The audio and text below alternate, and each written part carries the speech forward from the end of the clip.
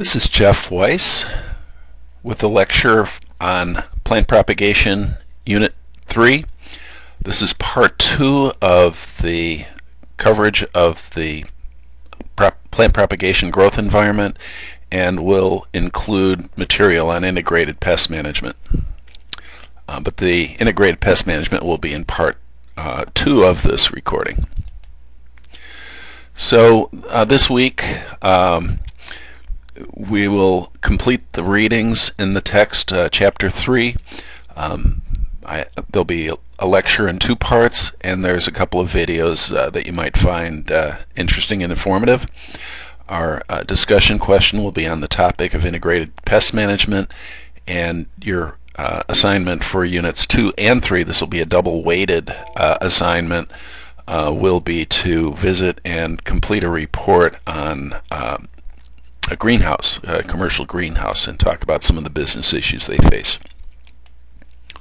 Key terms and concepts we cover this week uh, include competition, mycorrhizae, uh, beneficial organisms, uh, invasive species, integrated pest management, uh, cultural practices, and uh, care of plants, uh, especially hardening off to help them make the transition from a protected greenhouse environment to a um, uh, out to planting out in the field. Learning objectives uh, will be to look at uh, the remaining environmental factors that affect propagation, competition, beneficials, and pests, and uh, list and explain uh, some of the important options in an integrated pest management program explain how accelerated growth techniques can help um, produce uh, plants in less time and at higher quality.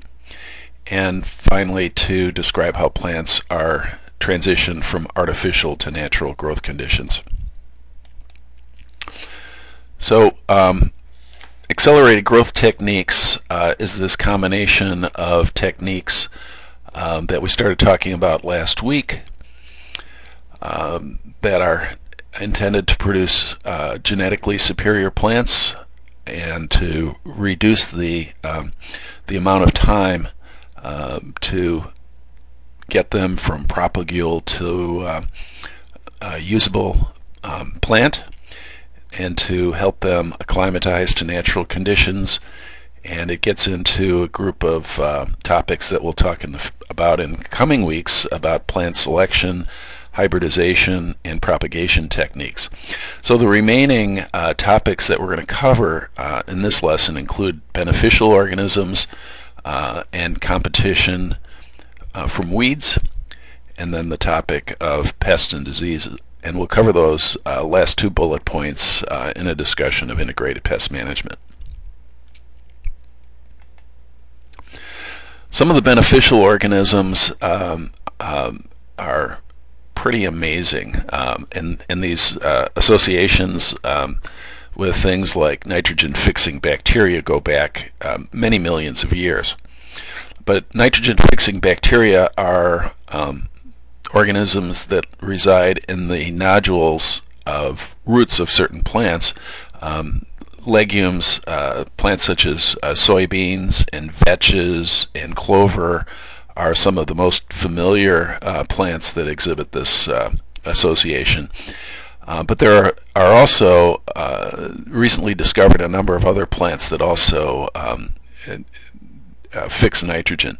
And this has been critically important for the um, um, buildup of nitrogen in the soil uh, following years of cultivation. Um, these um, bacteria increase soil nitrogen and, and enrich soil fertility over time. So uh, legumes and soil fixing uh, or nitrogen fixing uh, plants um, are very important in a uh, healthy uh, crop rotation.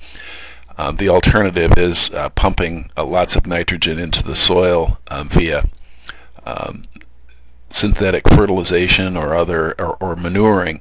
Uh, but uh, use of nitrogen fixing uh, plants has been uh, a, a, huge development in the uh, history of plant propagation and plant cultivation.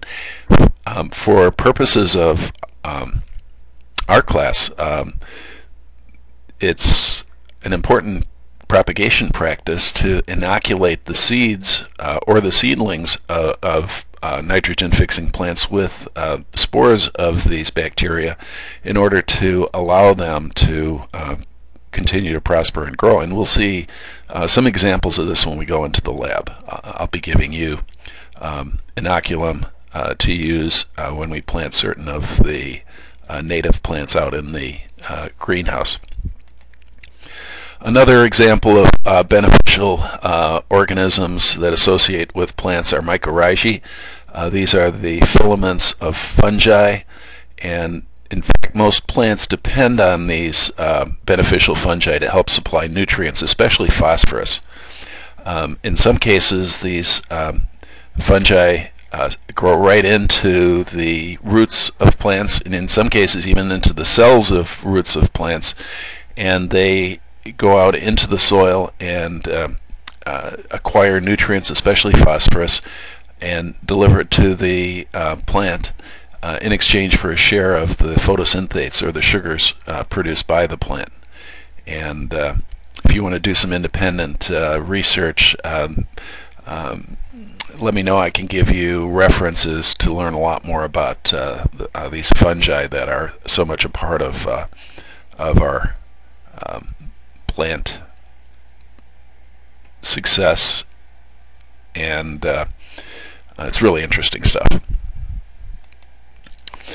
Um, and then there's the more familiar beneficial organisms including the pollinators. Um, will call these all the bee words. Uh, bees, butterflies, birds, and bats are some of the more familiar uh, pollinators. Uh, but there are a number of others.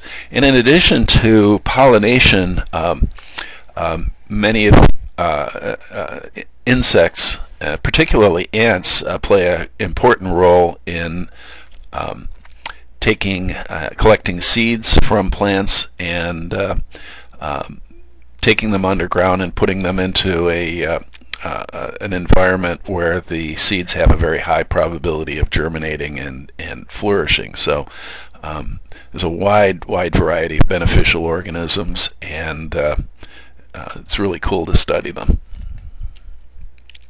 Now this is my own little case study. Um, the plant that's pictured here is a, a rare um, prairie white-fringed orchid. It's uh, a federally listed species and it's uh, quite a rare and beautiful plant in Illinois. Uh, and the native pollinator is a hermit sphinx moth. And you can see it pictured here. It goes uh, with its proboscis goes deep into the tube of this flower uh, in order to collect nectar and it um, in, in the course of doing so it pulls out these little um, pollen bearing organs called pollinia and it spreads the pollen from one uh, orchid to the other. Now in the site that I was working in, uh, this moth has not been seen and it, it, it's a nocturnal um, uh, insect, but it has not been seen on the site. So what we've tried to do over the years is to uh, artificially um, inseminate these orchids with uh, uh, these pollinia. And what we do in, instead of the proboscis, we go inside these flowers with tooth, deep inside these flowers with toothpicks, pull out the little yellow pollinia, uh, stick the toothpicks in a board of, um, of um, uh, plastic, and then um, using a formula uh, distribute the uh, pollen across uh, different plants and different populations of these orchids. And uh, um, it's a very cool project and our efforts have been uh, met with success. The, the site that I've worked on uh, has uh, increased the number of uh, orchids from just a very small number now to several hundred and several populations. So it's exciting to be a part of propagating a rare species and seeing it, uh, seeing its numbers recover. But then there's this whole other um, side of the um, of the equation, all of the weeds uh, that compete with um, our crop plants. Uh, many of them are invasive species that have been transported from places around the world and then there's the whole range of um, um, herbivores, uh, insects, uh, birds, plants, uh, I'm sorry, um, um, mammals, other organisms that um, cause damage to our um, to our plants, and then uh, disease organisms. So um, we're gonna I'm gonna break at this point, um, and we'll continue on with part two of this lecture, talking about uh, uh, some of these um, potentially harmful organisms and um, a process called integrated pest management that is uh, a, way of horticulturalists thinking about how to uh, manage these to uh, reasonable levels of damage. So um, that's it for part one. Be back with you in a few minutes on part two of this lecture.